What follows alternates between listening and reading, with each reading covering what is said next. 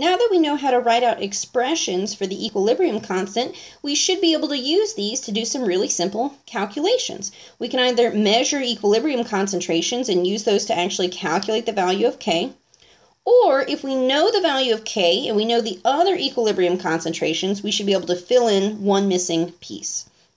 And these uh, problems all follow the same basic procedure.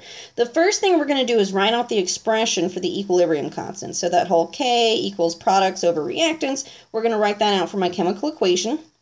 We're going to plug in all the pieces that we know, and then there should just be one piece left, and we just solve for it. Basic little algebra problem. So let's look at this example. A reaction mixture for the following reaction contains equilibrium concentrations of H2 and I2. What is the equilibrium concentration of HI? And it's giving me an equation, and the equation's K.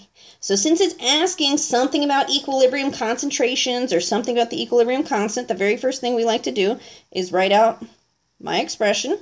So products over reactants will have HI on top, and because it has that 2 there, we'll make him squared, over H2, I2. So step one, we write out the expression. Step two, we plug in all the pieces that we know. Okay, so Kc is given right here. That's 50. Um, it's asking for HI, so we must not have that. So we'll put that up there. And then H2 is, oops, 0.165. I2 also 0.165. And because the equilibrium constant expression is unitless, we're going to just drop out all of our units. So now we just need to rearrange and solve for this piece right here. So the first thing I'm going to do is multiply both sides by the denominator down here to get rid of it.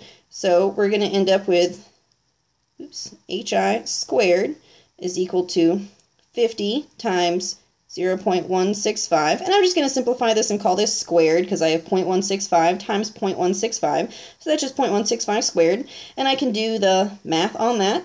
And I find that that is 1.36125.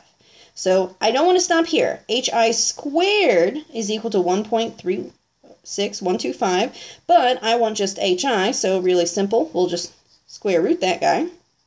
And I find out that HI is equal to 1.2 molar. I'm using two sig figs because I had two sig figs up here. And that's it.